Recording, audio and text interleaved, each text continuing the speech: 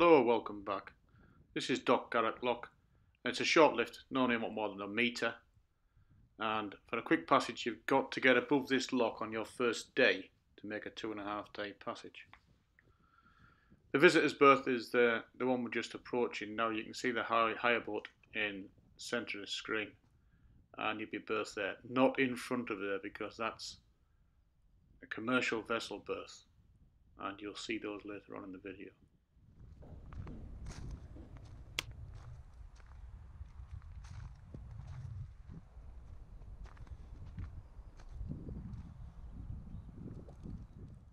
And this white building here in this shot now is the shower and toilet block. Wee white cottage is where the tortoises live. And that's looking down onto the visitor's berth. We're walking along the lane here which runs alongside the canal. We're very quickly you're coming towards the end of the residential berths at Dochgarroch. And here's Cascade waiting for the off.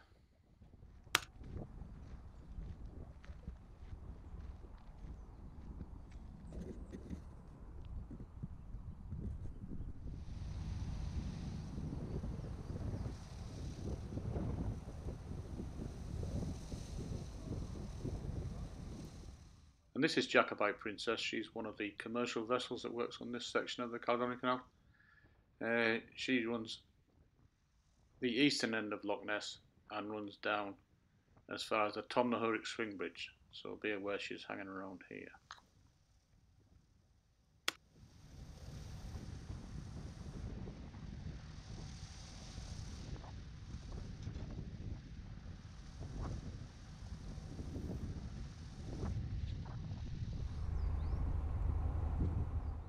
That's us ready for the off. Uh, you've obviously noticed by now it's been a particularly windy trip so far, and I'm not going to be disappointed shortly when I actually get into Loch Ness. The Dochgarroch Reach here is obviously the same height as Loch Ness, and that's why I said earlier this is where you need to get to in order to make a fast passage if that's what you're looking for. I mean, there's no reason to fly through the canal, but some reason some people are pressed for time. But once you get into Loch Ness, you've got various options, and you don't have to do the whole of the lock in the one session.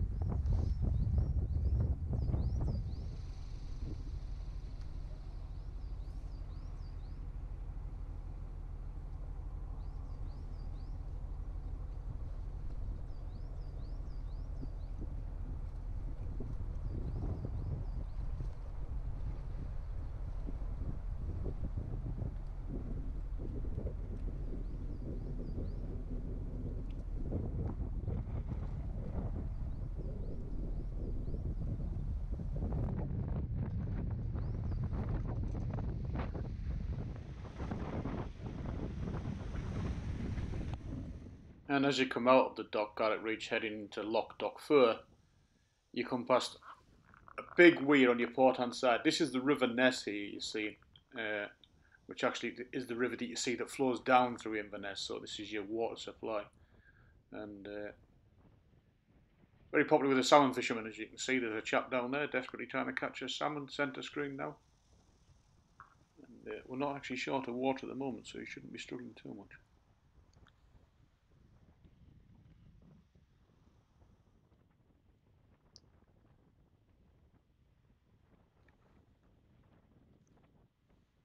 And in front of us now is another one of the big commercial vessels that operates out of Dochgarroch. She doesn't go beyond Dochgarroch, so she goes Dochgarroch and then up into the into the uh, eastern end of Loch Ness and uh, toodles around there and does the Urquhart Castle bit and what have you. Then comes back and offloads. So all the passengers are all transshipped at Dochgarroch by coach there, and it's a pretty busy old boat. You'll get hundred passengers at a time, no problem at all.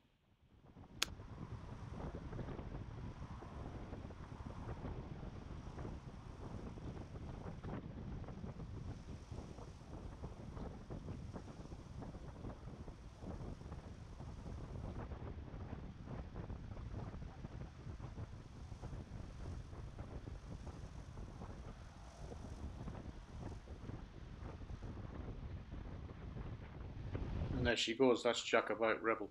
She's one of, I think there's four of them. They're all catamarans. Uh, they're operating on Loch Ness these days. Plus numerous ribs and uh, other smaller boats.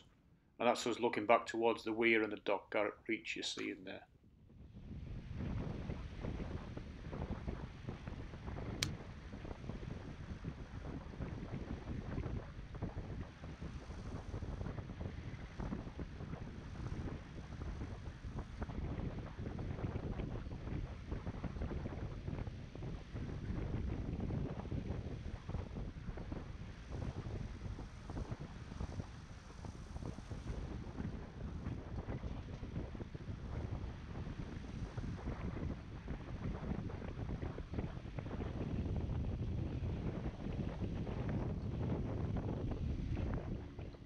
And we're obviously going to leave these uh, green cans to port as we're passing along here. This is us in Loch Dochfour proper now. And uh, if you look beyond the green can there and look up that wee little channel, you'll see there's a few boats in there. That's uh, one of Inverness's boat builders, Slant Shipwrights, Robin. He's a good lad. And uh, he can fix more stuff, can Robin. This is coming to Loch Dochfour. It's actually quite a sheltered piece of water. And if you're coming from uh, west to east and you've got the normal wind that runs down the lock, that's a good place to sort of get your sails down because you can come fairly uh, screaming down the lock at the last little bit, to say the least, if it's blowing pretty hard.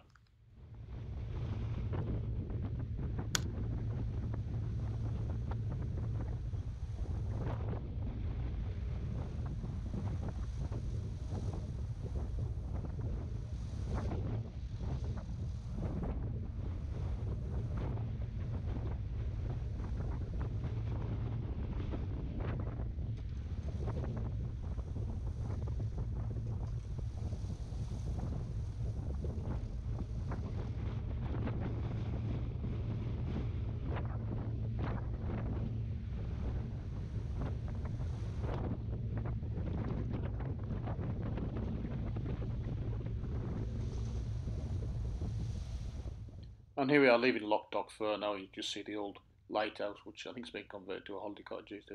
Uh, this is us coming into Loch Ness proper, and you can see the buoyage as you come through. And uh, make sure you get yourself lined up well for the buoyage because it is a bit, especially off the port hand there, it gets pretty shallow. It looks like it's stabbed, but it's actually port. And and you can see it's uh, behaving itself as normal as the lock, and it's uh, this end of the lock is a bit bumpy. But uh, we're cracking on.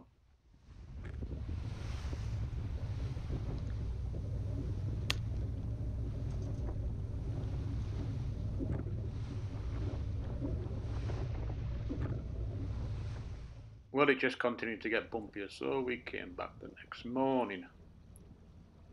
And we're panning around now, and we're looking, this is the northern side of the loch you're seeing. And as we come round now, you'll come round and you'll see the bay at Drumnadrochit, and Urquhart Castle is on the port side of that. We'll get a better shot of it in a minute. And that's us looking all the way up Loch Ness now towards Fort Augustus.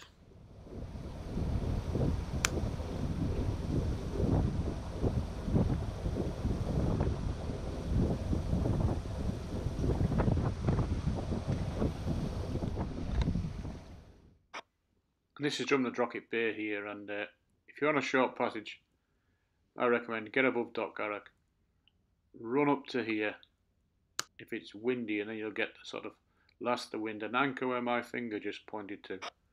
That peninsula there just sticking out is Urquhart Castle there. Uh, a lot of people anchor straight at the castle. I would go further in because the swell can get you on the castle there, and if you go right around the corner, it's normally nice and calm.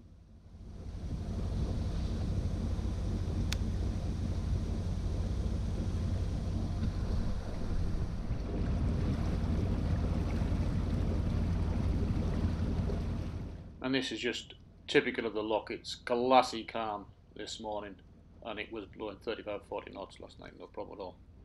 So it's uh, it goes up and down pretty quickly, and you'll see that there's no break in the film between here and Fort Augustus, and you'll see what the difference is at the other end of the lock when we get up to Fort Augustus.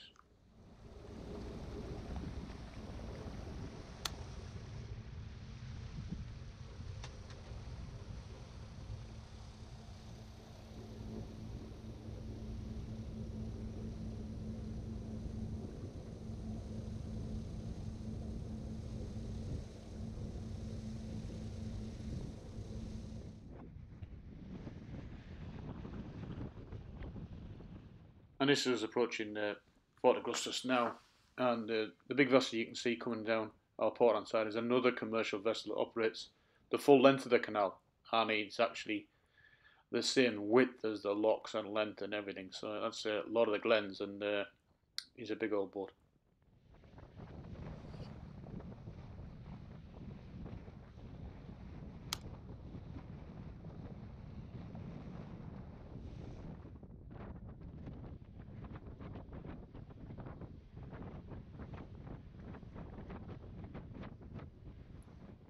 That's Fort Augustus ahead and a wee pan round behind us now.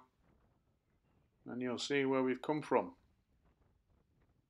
And that's the Great Glen. So you're looking all the way east down Loch Ness there. And as you can see, the wind's getting up again as normal.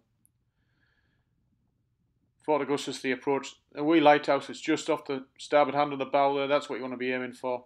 Uh, you'll see the big monastery to the left of those trees. It's just out of shot is a fairly good indicator that you're on the right track. Uh, be advised as commercial vessels operate out of Fort Augustus, and this is one just exiting now, and I spotted him. He's top superstructure before I even seen the boat above the wall there.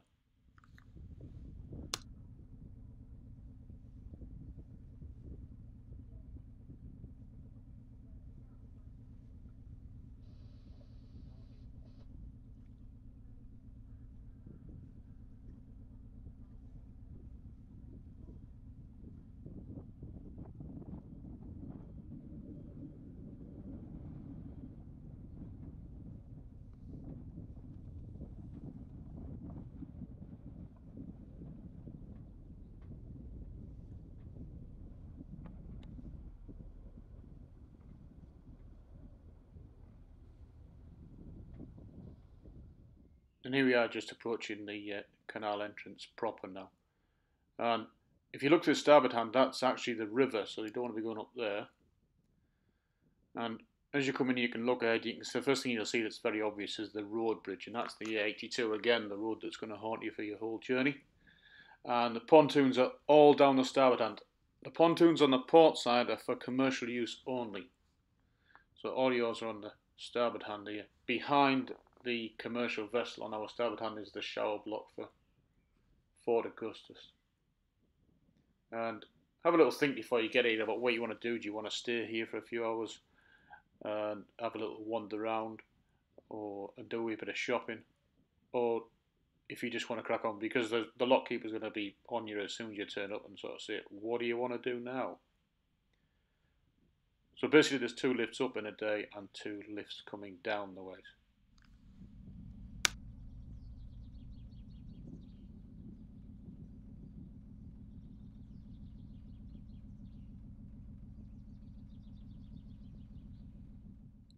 In terms of facilities here at Fort Augustus, uh, if you walk up to the road bridge and turn right, that'll take you to the garage there, and behind the garage is a little sort of mini supermarket.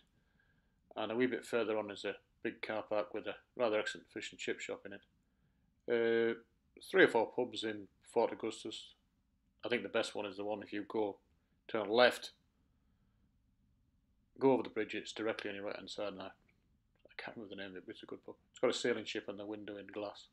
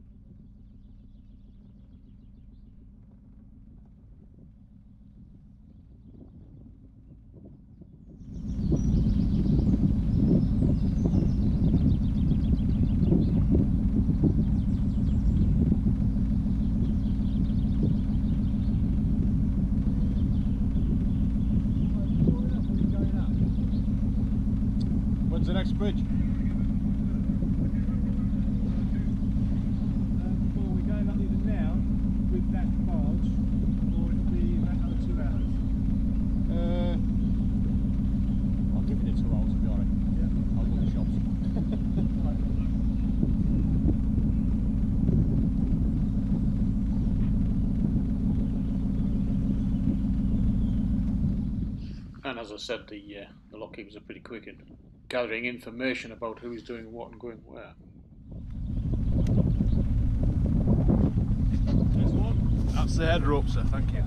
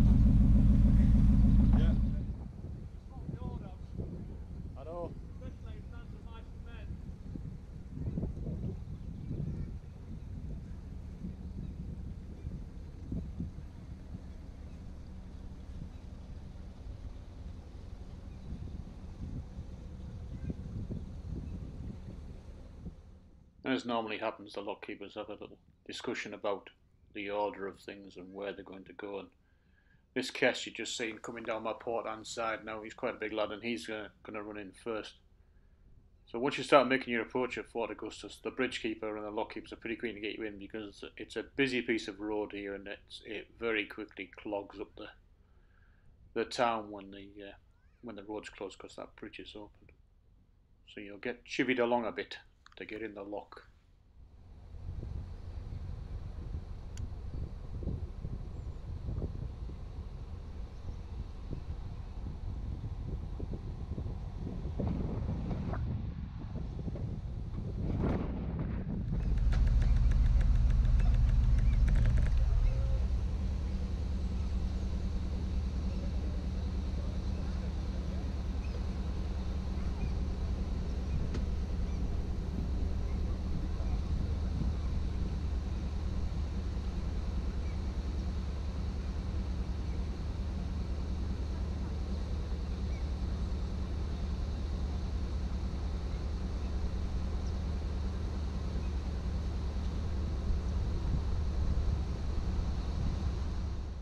And this is us just passing the uh, the main road bridge here. And uh, obviously once you're in they close it quickly behind you. That's us safety alongside in lock one. And uh, I'm actually off the boat at the moment. And then I, I kind of spotted that the guy in front of me was having some difficulties.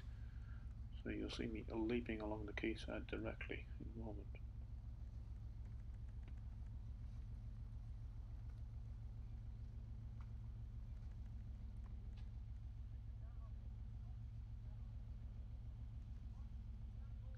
basically the chap on the bow, uh, kind of the boat got away from him. It was a, it's a big heavy thing. It'll be twenty odd tons that thing, and he just, he's quite an elderly chap, and he basically couldn't get the boat back in again. And uh, once that sluice gate water gets behind the bow, it's quite difficult to fight it back. So there's the lock keeper on the stern rope. He's pulling that in, and uh, between us we got it sorted out. Give the guy a hand, and it was alright.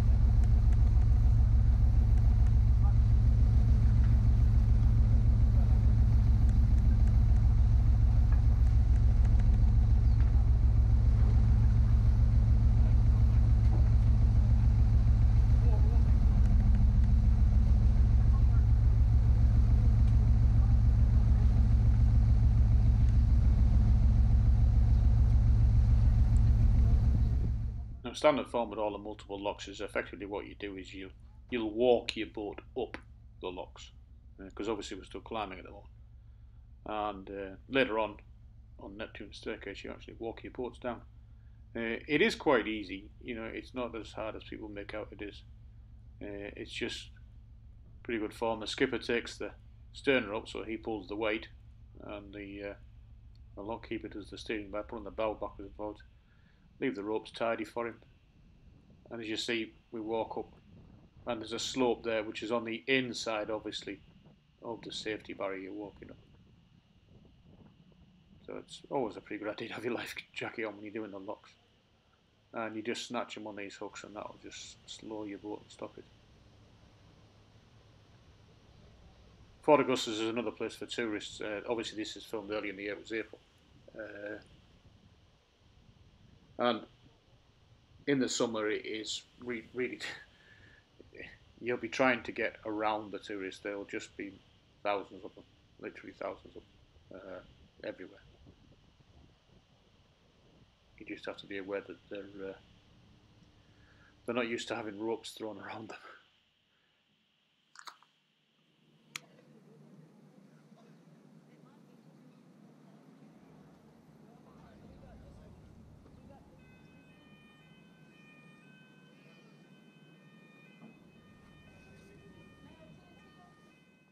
and the siren you can hear there is just uh, a spin back round, that's a, another big vessel coming into the lock. So we're now two locks up, so they're swinging the bridge for the bottom lock to get. I think it was a big fishery protection vessel coming through, and uh, there's normally one lock between you.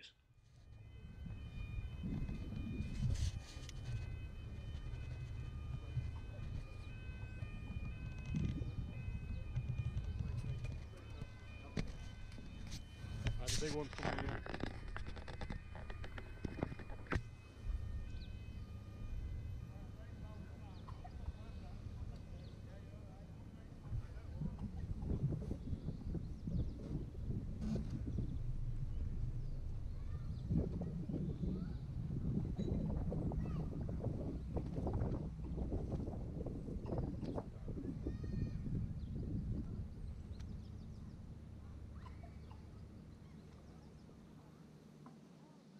It's just calling up the rope there for the lock keeper on the bow. And uh, the catch in front of us actually, just moments after this, uh, he managed to shoot his exhaust elbow, so he was manhauling without an engine after that. And uh, we managed to get some gear and we forged it back together. This is the top of the Fort Augustus flight now, and uh, this is the same evening, and this is me just leaving now to head up to go a little bit further on. As you can see, there's virtually nobody there. What you find is that on an evening, they'll either the top of the lock will either be very full or very empty, and it depends on what day it is actually. So if it's coming towards the end of the hire week for hire boats, they'll have all gone because they've got to get back to their hire bases.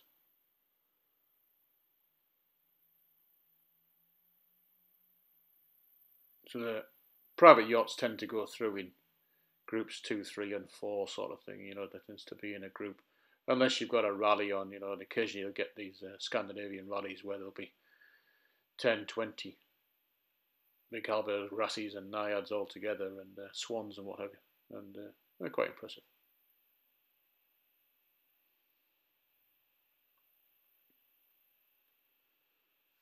And we're steaming away from Fort Augustus now. We're heading up to uh, one of my favourite spots on the canal, which is Kytra uh, which is just a single lock that's going to lift us up yet again. Uh, the lock keeper, Linda, has been there forever, and uh, she's very keen on life jackets. If you wear a life jacket, you get a little gold star, like being a good boy at school.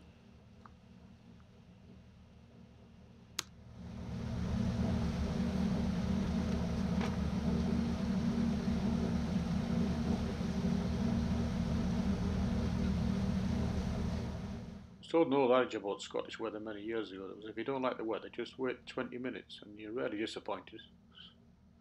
As you can see, went from a nice evening to rain.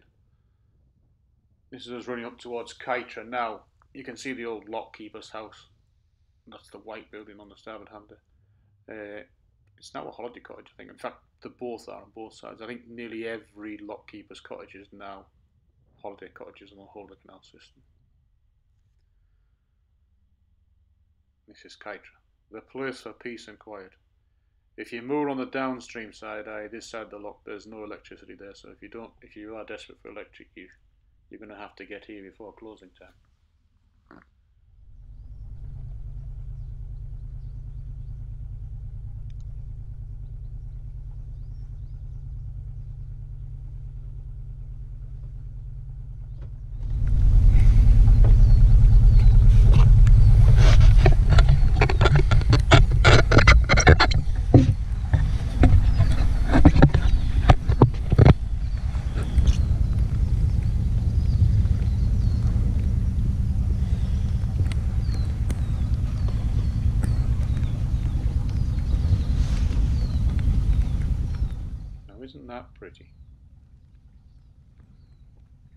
Peaceful place to spend the night.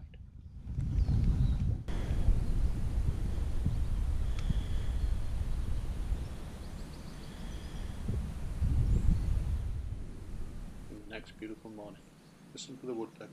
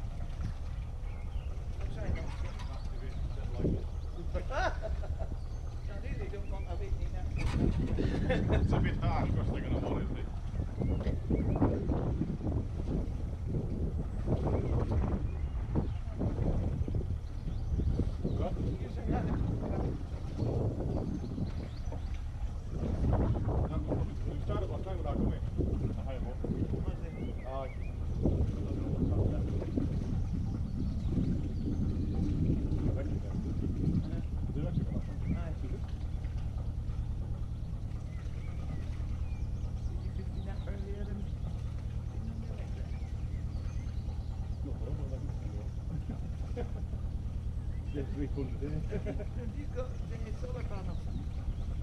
Oh, I stupid along, don't I? I really am, honestly.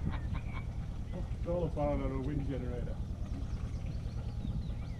Oh, well, that's That good. makes all the power out. Keeps the vehicle on the front. Well, that's all that matters.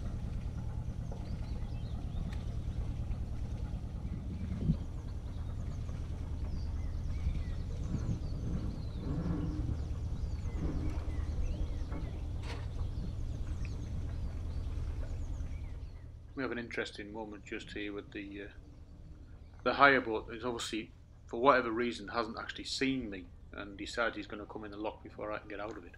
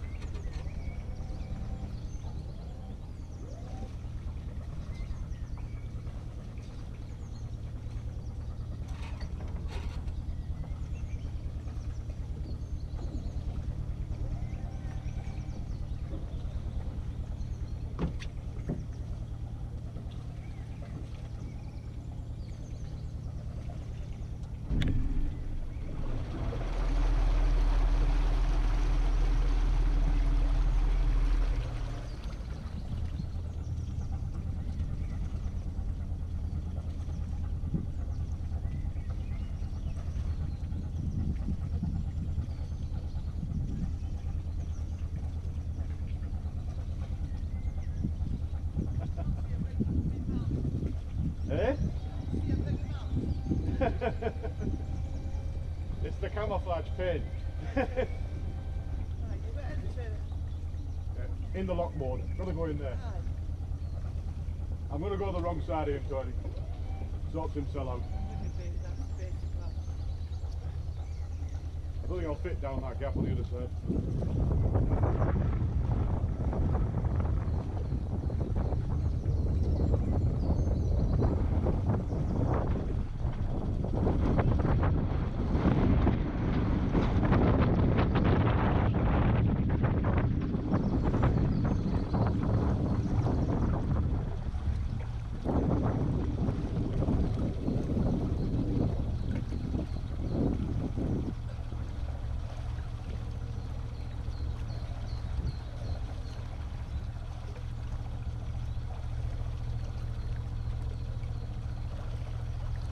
Morning.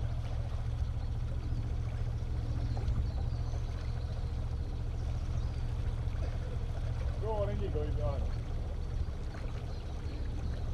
okay.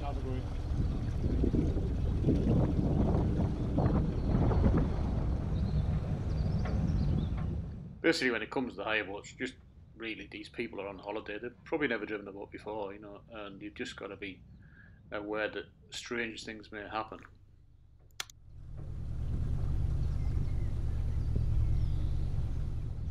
And this is us running into Cullochy Lock. And then after we come out of here, we're on to the uh, Aberchalder Swing Bridge, and the weir to the side is into the River Oich.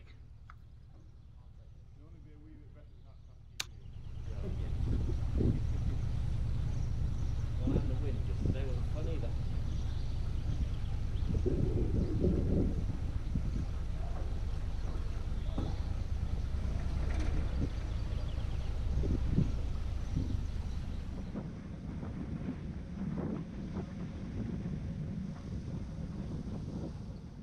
And the Aberchalder Bridge, and obviously this is the 82 yet again, and uh, I tend to get a bit of a move on through the bridges. It just lets them get the traffic moving again and maintains relations between boaters and locals.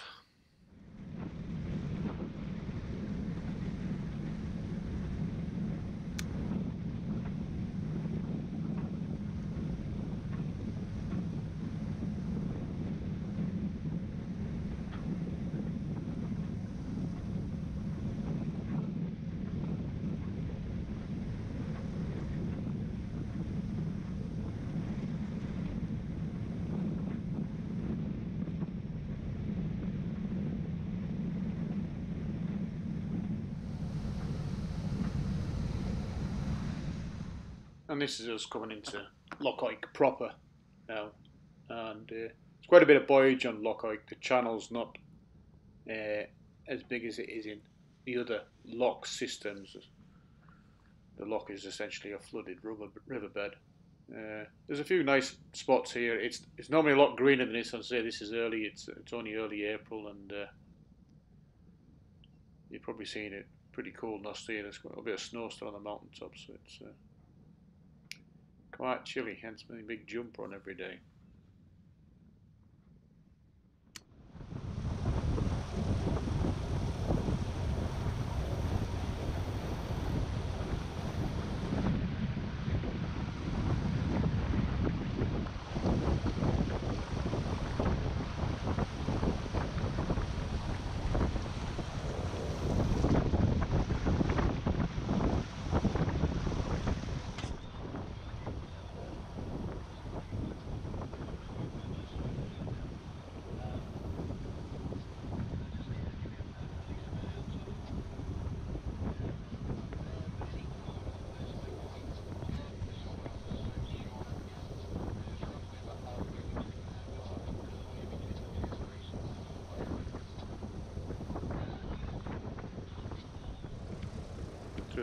Again at uh, on Loch Oich here.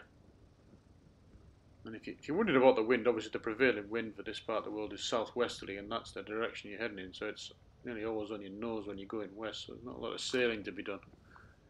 A lot of motoring. Coming back is really good. You tend to sail a lot of the way actually, but not in the canal sections. It's just too tight.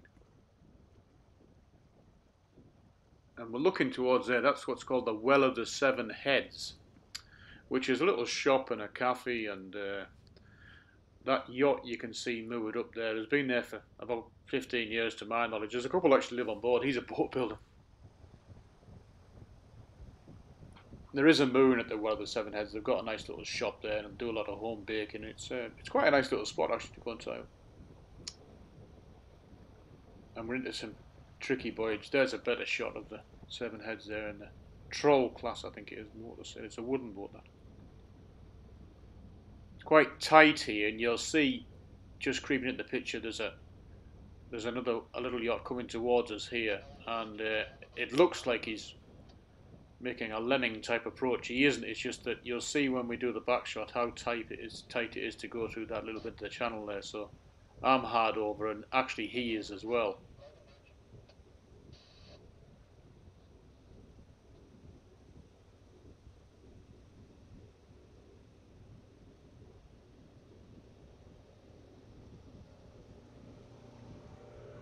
He's going through by outboard.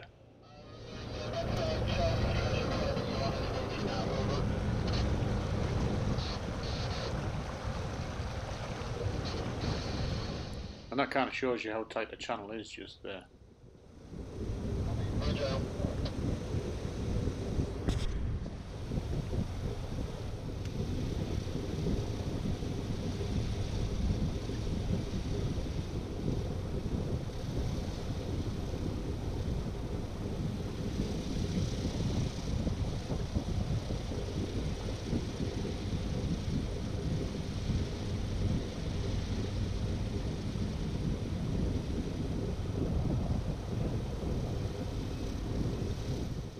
And this is just uh, running up to Laggan Bridge here.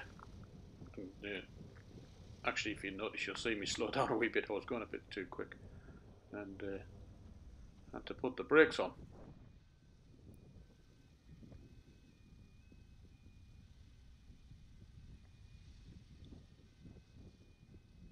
And once you're through Laggan Bridge, you're on a, a tree-lined section on both sides, which is really uh, quite nice on a windy day because it's really very, very sheltered.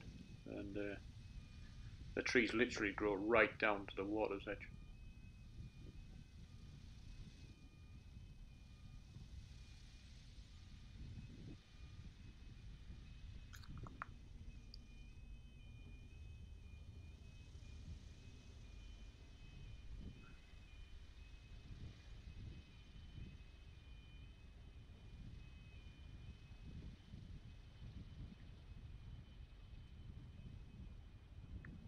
And that's us through and clear the Laggan Bridge.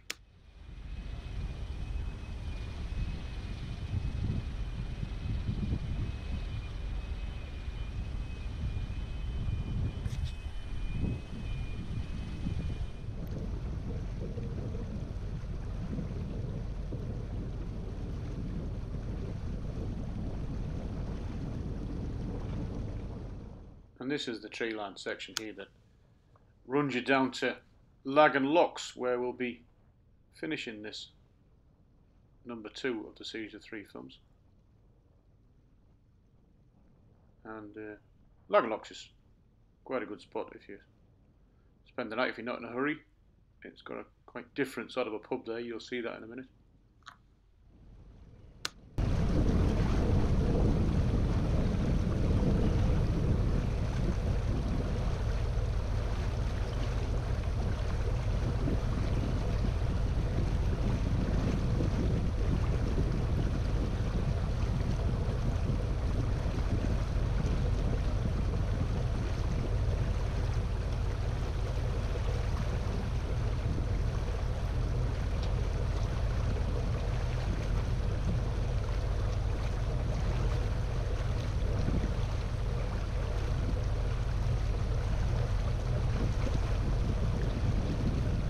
That's absolutely fine.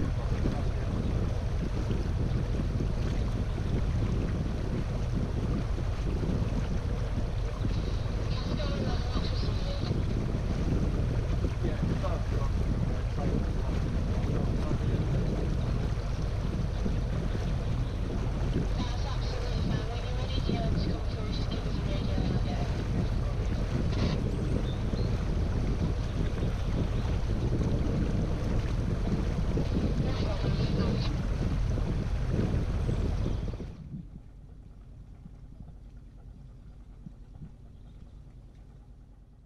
problem. This is the berth in here on the starboard hand as you approach and Locks. Uh, you can see it's completely empty. It's because it's early in the season. There's quite a few people sort of look at sort of semi-permanent type moorings in the summer here, and uh, so there's often a lot of boats tied up here. There's always space left for passing craft, as it were. I'm actually going to tie up here and have a, a late and leisurely breakfast. Oh, that's what I was telling the lockkeep on the video. I can't remember if you can hear it or not.